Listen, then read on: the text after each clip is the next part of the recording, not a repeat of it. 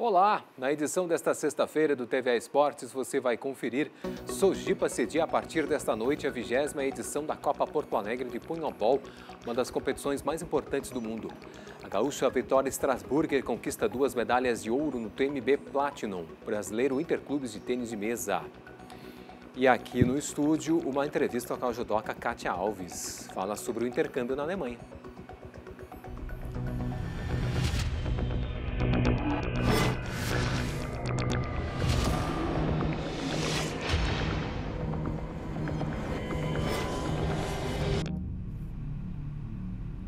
Muito bem, TVA Esportes desta sexta-feira destacando aí a vigésima edição da Copa Porto Alegre de Punhobol, que começa hoje aqui em Porto Alegre. Organizada pela Sujipa, a Copa é considerada uma das principais competições do mundo. O evento vai até domingo e terá a participação de 300 atletas de três países: Brasil, Áustria e Argentina. Além da própria Sojipa e outros clubes brasileiros, participam as equipes do FBC Linz, da Áustria, Rosário e Punta Chica, da Argentina. Os jogos vão reunir atletas de todas as idades, desde a categoria sub-12 até o Master, acima de 45. Ao todo, estão previstos mais de 200 jogos em cinco campos dentro da Sojipa. A Copa Porto Alegre é um evento de pontuação máxima para o ranking da Associação Internacional de Punhobol. Bom, agora aqui no TV Esportes a gente está recebendo a Kátia Alves, que é judoca do Grêmio Náutico União e que recentemente conquistou a medalha de prata no estágio internacional que aconteceu durante um torneio na Alemanha. Bom dia, Kátia. Tudo bem? Bom dia, tudo medalha bem. Medalha no prata, medalha no peito, medalha de prata no peito. Tá certo, né? Maravilha. É a primeira vez torneio fora do país? Sim, é minha primeira experiência internacional. É, e aí como é que tu, como é que foi para ti essa essa viagem, essa, essa caminhada aí para a trajetória aí na Alemanha? Como é que foi para ti? A viagem foi muito boa, é, foi uma experiência extraordinária. Como primeira competição internacional, eu já fazia uma final. Uhum. Foi bem importante isso para o meu currículo esportivo.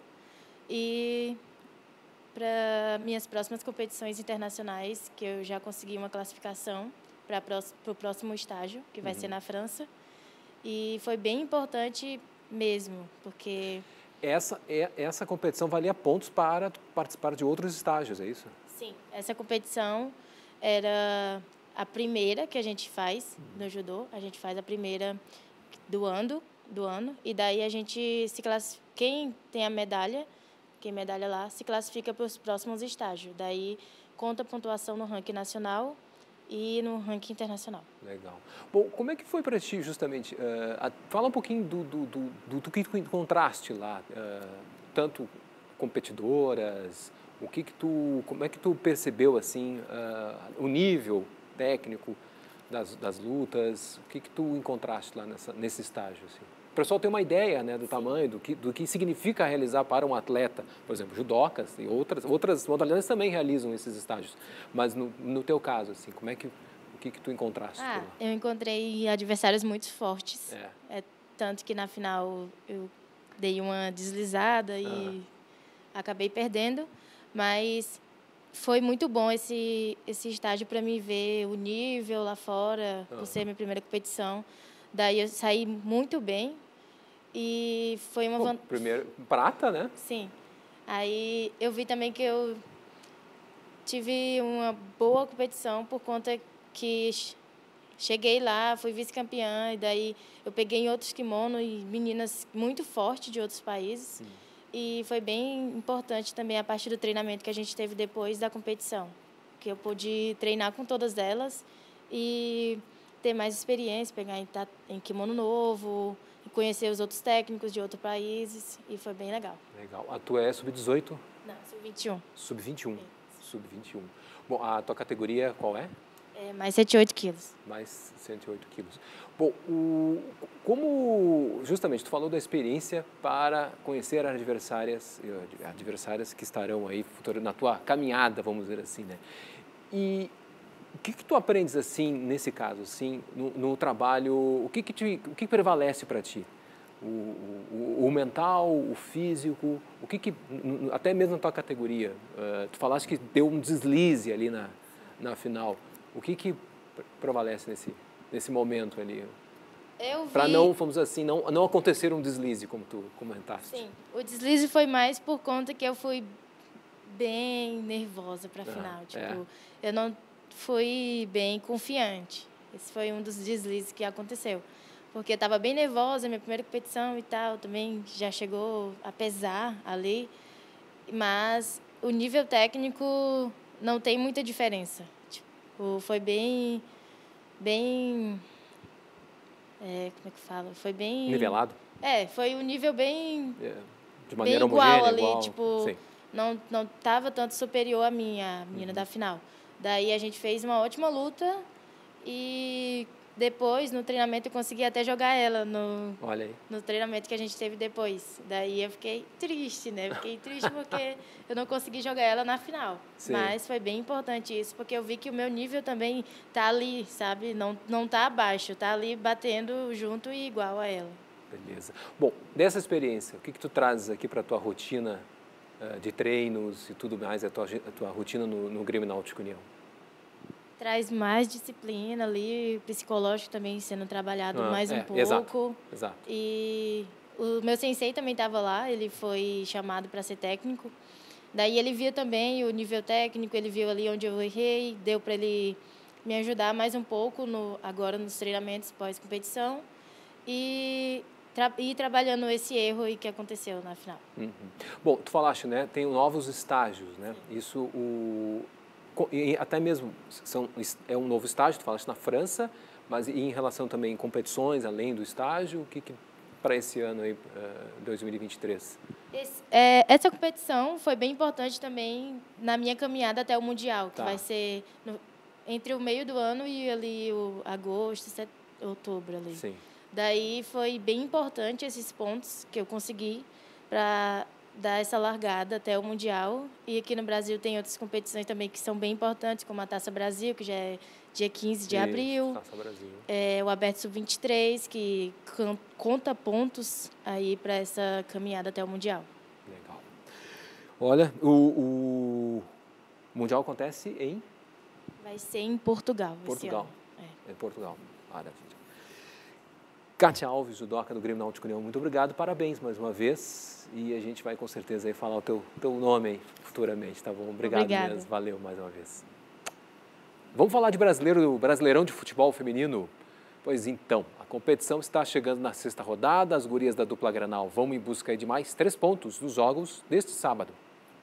Os dois times gaúchos entram em campo no mesmo horário, às 11 horas da manhã, diante das suas torcidas. As gurias coloradas encaram o Havaí Kinderman, namorada dos Quero-Queros, em Alvorada, região metropolitana de Porto Alegre. A equipe treinada por Maurício Salgado está invicta em casa e vai em busca da quarta vitória no campeonato. Na classificação, as alvirrubras ocupam a quinta colocação com 10 pontos. Já as meninas gremistas recebem o Santos no CT Hélio Dourado, em Eldorado do Sul, que também fica na área metropolitana da capital. O time do técnico Felipe Endres quer se recuperar na competição após a derrota para o Bahia na rodada anterior. São esperadas mexidas na equipe para o duelo com as Santistas. O Grêmio está na décima posição com sete pontos, portanto, fora da zona de classificação, que é o G8. A gaúcha atleta da Sujipa, a Victoria Strasburger, conquistou duas medalhas de ouro no TMB Platinum Brasileiro Interclubes, Interclubes Olímpico e Paralímpico, disputado em São Paulo.